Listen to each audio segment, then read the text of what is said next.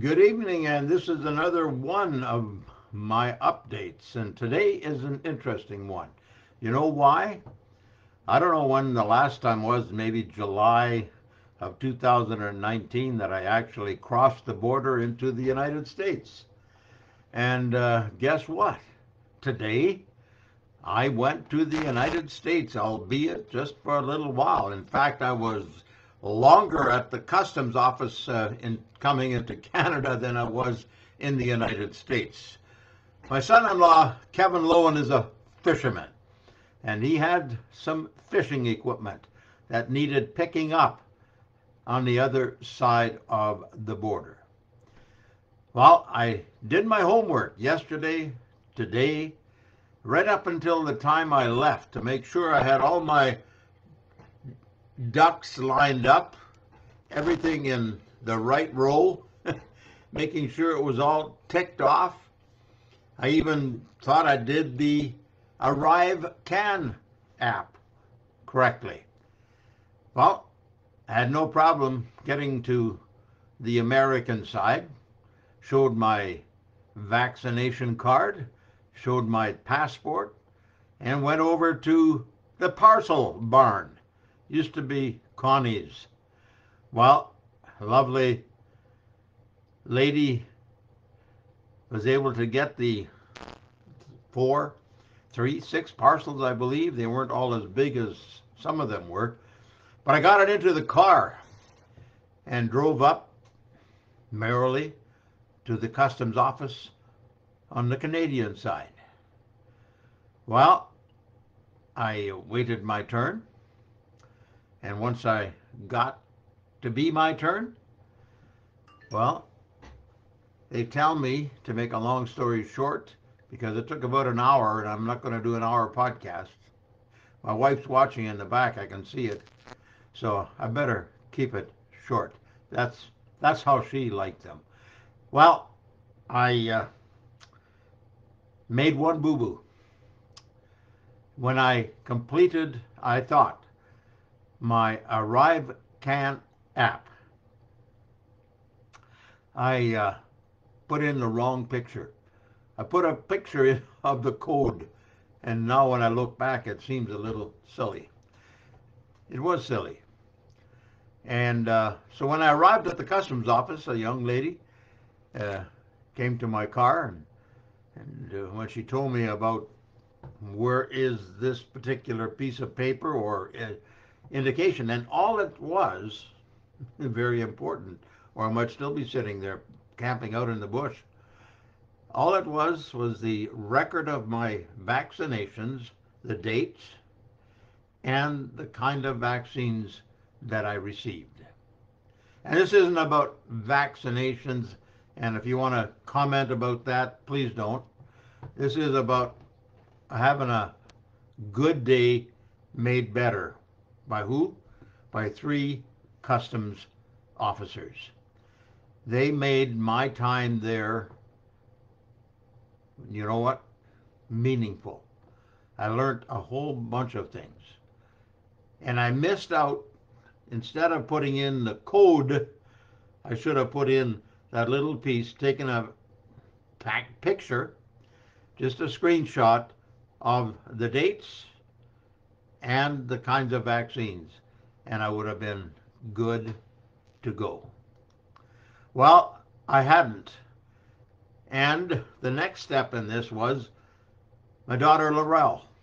it was her husband's fishing gear I was picking up. And so I was able to get Laurel on the phone. And after about 30 minutes, she was able to get into create a new account so that she could get at my information. And once she could get at my information, she could take a screenshot. And uh, once I had it in my phone and I gave it over to the customs officer, all was well. And I know what Laurel said. Dad, you were absolutely fortunate that you had kind customs officers. And I'm not here to pick on customs officers. For the most part, most of them are just plain doing their job. But these people, the three, they went up and above. Yes, they were firm. They stuck with the rules. They didn't say, okay, you can go, which I was hoping to. In fact, I made it a little more difficult than I actually should have. But at the same time, they treated me fairly, kindly, professionally, and even with compassion.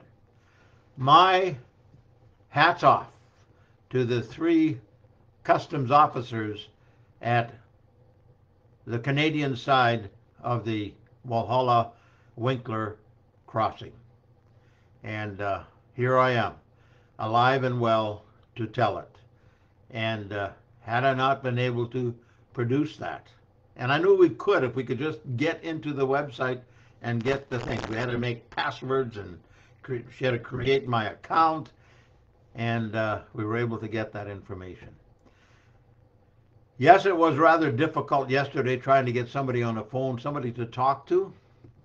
But again, my daughter has a neighbor who works for the customs office. And she went to see him, and he laid it out in detail what I needed. And I thought I had it all. But I did it for two reasons. And yes, I don't get nervous very often when it comes to those kinds of things. But I was nervous going back into the United States. I wasn't so much nervous about entering the U.S., but I was nervous coming back. And I guess I had a reason. But I had a couple of real good prayer warriors that were praying for me as I was cross- crossing the customs. And God is great. God answers prayer because I learned a valuable lesson I think I now will be able to update it so that I can get back into the U.S. again for another short trip. Be back within 72 hours and to make sure. So if you're planning on going to the United States, make sure you have that arrive can filled out, double check, make sure you have the dates and the kinds of vaccines you have so that they can see and have their proof that you're actually vaccinated and you're not just carrying somebody else's card. Well, that's uh, more or less of what I had to share today. There's a lot of other things that are going on. You know, I uh, I just want to say we need to continue to be in prayer, and if we can help the people in British Columbia. I had a colleague of mine go there to uh, see some clients. These are pig producers. And he shared on the WhatsApp group about how difficult it is. One particular feeder barn, finisher barn, I should say, hog barn. He showed the picture, and the water was up at almost close to the windows. 14,000 pigs succumbed at that particular place, drowned. And then he went over to another one, 850 sow farrow to finish operation, all drowned. And then he says, in some cases with the dairies, this isn't all. And yes, I'm picking the ones that he talked about. But these are the ones that left the real impression upon him.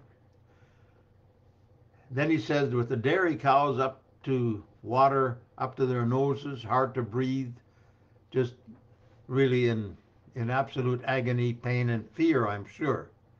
He says all they can do is ride by on their boats and take their lives and take them out of their misery, shoot them. That's what they had to do in many cases.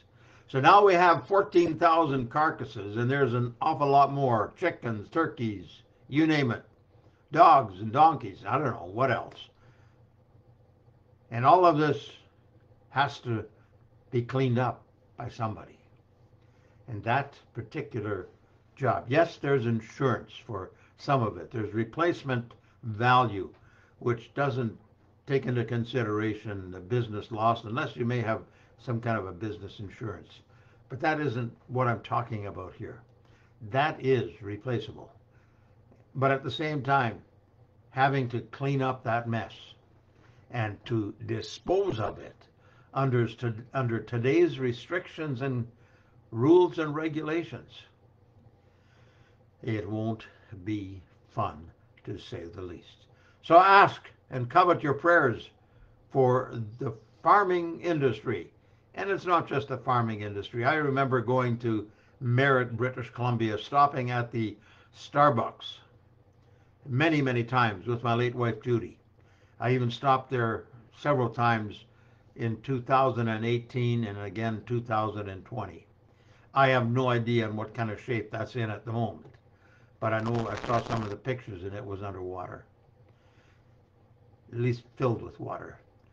So, as John put it, who shared these stories on WhatsApp, he says, you know, we sometimes grumble and complain and think we have it pretty tough. And yes, I'm not belittling that. There are a lot of, a lot of very uh, tough situations that people have to go through. But so are they in a difficult position. So I just wanted to share this evening, and I do hope and pray that you're going to have a positive night, meaning a good sleep and a good rest, because I normally do, even though I get up a few times at night to take care of matters.